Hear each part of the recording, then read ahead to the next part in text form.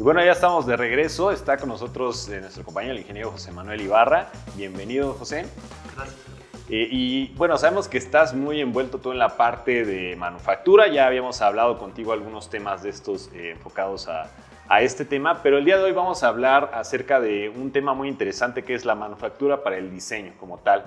Eh, buenas prácticas, que nos comentes cuáles son, digamos, algunos tips o cómo vienen estas tendencias ya de manufactura, qué es lo que se está haciendo hoy en día para eh, cubrir y eficientar estos procesos. ¿Qué nos puedes decir de, de esto, eh, José?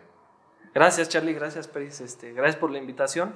Pues sí, es un tema muy interesante el diseño para la manufactura y ensamble. Prácticamente el diseño para la manufactura y ensamble es una metodología en la cual salimos de los paradigmas. Ah, hace muchos años estaban acostumbrados a que pues el diseñador únicamente se enfocaba a hacer el diseño, pero no se preocupaba cómo se iba a fabricar el producto. Mm, sí. Entonces, el diseño para la manufactura y ensamble es tratar de trabajar en equipo de todas las áreas, las áreas de ventas, las áreas de diseño, ingenieros de producto, ingenieros de manufactura, para tratar de ver cómo se puede hacer el, el diseño que sea fácil de ensamblar, fácil de manufacturar y todo con el objetivo de reducir costos, tratar de lanzar el producto más rápido al mercado, evitar comprar herramientas, evitar procesos secundarios. Prácticamente esa es la, el- El concepto la filosofía del diseño para la manufactura y ensamble. Algo muy relacionado con lo que hemos estado platicando, ¿no, Pris? Del diseño integral, de, de juntar todas estas tecnologías, etcétera, en, en un solo lugar y ahí de, de estar colaborando, etcétera, con estas nuevas plataformas, ¿no? Sí, Sí. es correcto. Exactamente, y mencionabas algo muy importante, José, porque anteriormente hacíamos el diseño pues sin cierto método, ¿no? Nada más con que saliera el resultado final y no nos fijábamos mucho en el proceso, ¿no? Sigue pasando a veces, ¿no? Que quieres diseñar, o sea, que hay gente Sí. que diseña, dice, ah, voy a diseñar esta pieza y de repente así ya la ves a la hora que la diseñó y dices, no manches, pues sí, pero eso no lo va a poder fabricar, ¿no?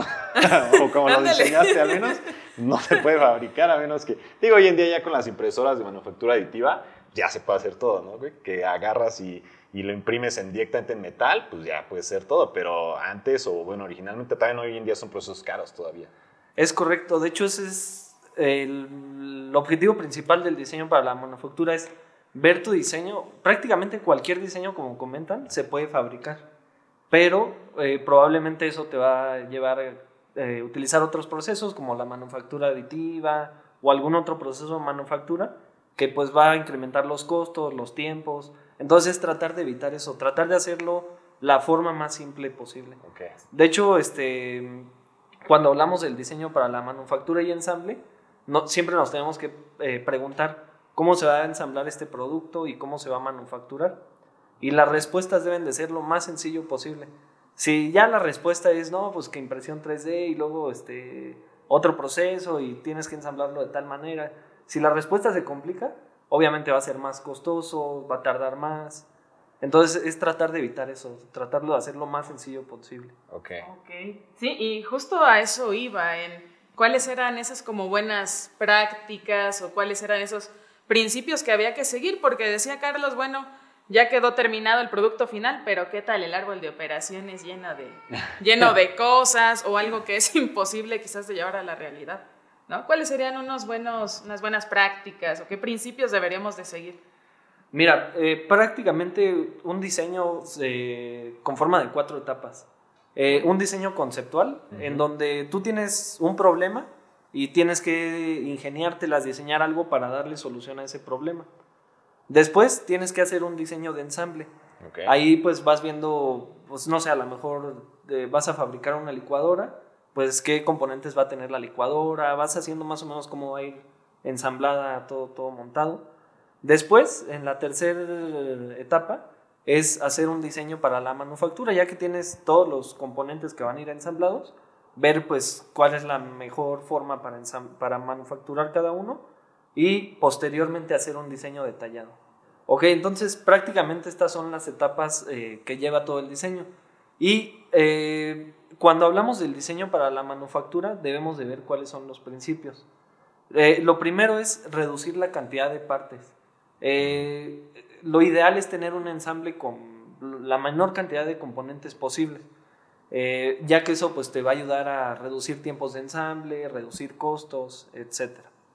También eh, tratar de utilizar componentes estándar. Ah, otro es este, hacer diseños modulares. Un- la empresa Peugeot, automotriz, de Francia, eh, acaba de diseñar una plataforma modular para su- sus autos. Esa plataforma la pueden utilizar para eh, los coches sedán, mini sub, coches deportivos. No importa si son coches de motor normal o coches de Órale. eléctricos. Entonces, esa plataforma la reutilizan para todos eh, los autos que, que Estandarizaron, digamos, ¿no? Su proceso y me imagino que han reducido un buen de costos. Exacto. Eso se le conoce como el diseño modular, que también lo podemos ver aplicado en la arquitectura. Eh, no- ya también eh, eh, en Europa se está estilando que muchos edificios o hoteles se están construyendo eh, a través de módulos, en los cuales se fabrica una cabina en, en una empresa y esa cabina la montan en un tráiler y la transportan a donde se va Ah, se va a construir el edificio y la, la transportan en grúas y prácticamente van ensamblando todo el, el edificio como si fueran legos y prácticamente pues el tiempo de diseño o perdón el tiempo de construcción lo reducen bastante gracias al diseño modular y por último también la utilización de los pokayoques Ah, ya. un Sí, ejemplo de un pokayoke no sé si han visto cuando por ejemplo cuando sacamos el chip del celular, celular, la tarjeta ajá. SIM eh, pues es esta prueba de errores, ¿no? Únicamente entra en esa posición y ya de ahí no hay otra. Aunque la quieras meter en otro, no, no queda, ¿no? Sí. Exacto. Eh, esos son los principios del diseño para el, para el ensamble. Y el- los ensambles se pueden dividir en varias eh, pues, divis- eh, subdivisiones. El ensamble manual, ensamble robo- eh, pues, asistido por robots ¿no? o automatizado. Todo va a depender de la cantidad de productos a ensamblar y de la dificultad. Ujú. Y prácticamente los principios son los mismos, se hable de lo que se hable. Y del diseño para la manufactura, eh, depende de qué proceso se vaya a llevar. Eh, hay una, bueno, eh, hay eh, diseño para, para maquinados, diseño para manufactura aditiva, diseño para inyección de plásticos. Entonces, dependiendo del proceso que se vaya a aplicar, hay ciertas reglas a seguir, ciertas reglas de diseño. Por ejemplo, para la inyección de plásticos, este, utilizar ángulos de salida. Para manufactura, pues utilizar eh, redondeos en las esquinas. Oh, Entonces, tienes que verificar cuál va a ser el proceso de maquinado y ver qué, qué metodología seguir. Fíjate que está bien interesante todo esto que mencionas. Creo que precisamente, digo, ahorita ya mostraste algunos ejemplos de, de- o hablaste algunos ejemplos acerca de, de qué es, a qué va enfocado. Y creo que también ahorita esto que estás mencionando, pues aplica muy bien para, por ejemplo, cuando llegamos a dar capacitaciones, en este caso nosotros de SolidWorks, pues viene esta parte, ¿no? De, a ver, piensa cómo lo vas a fabricar, cuál va a ser el método y de acuerdo a eso, pues empieza a trabajarlo en el software, ¿no? Y va, va enfocado precisamente a eso. No vas a hacer algo que va a ser para inyección de plástico y lo vas a dejar sin ángulos de salida, ¿no? Sabes que a la hora del desmoldeo, pues se va a quedar pegada la pieza o va a salir con defectos, etcétera. Entonces, creo que sí va, va muy enfocado en esto, pero no sé igual si, eh, qué otra cosa nos puedes agregar a, a cómo va aplicado en el CAD. Bueno, eh, como bien mencionas, dentro de SolidWorks, de cualquier licencia, eh, desde la estándar, eh, viene incluido un complemento que se llama DFM Express, Ah, claro, sí, que sí, es sí, sí, Design for Manufacturing Express. Siempre lo he visto ahí, pero pocas veces sabe la gente cómo se utiliza e incluso a veces nosotros, ¿no? Sí, pues prácticamente es un producto en el cual tú tienes tu diseño, seleccionas el proceso de manufactura y ahí te dice si se cumplen las reglas de ese proceso. Ok.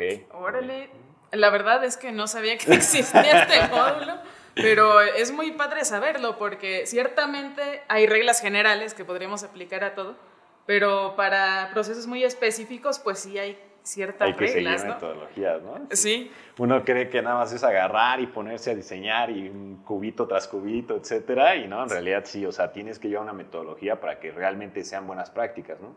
Y salga todo de acuerdo a cómo, cómo está. Bueno, muchas gracias José. Creo que hoy aprendimos bastantes cosas nuevas acerca de metodologías de diseño y de incluso herramientas que ya estaban ahí de, Mm, de. SolidWorks y que no conocíamos del todo, ¿no? Y bueno, eh, platíquenos también ustedes si han tenido problemas derivados de un diseño quizás un poco erróneo. Erróneo, sobreelaborado tal vez. escríbanos, recuerden utilizar el hashtag el show de Inges y coméntenos pues todas sus, sus dudas, los retos que han tenido. Y bueno, quédense con nosotros porque vamos a tener un tema muy genial acerca del recurso más importante que tienen todas las empresas, el talento humano.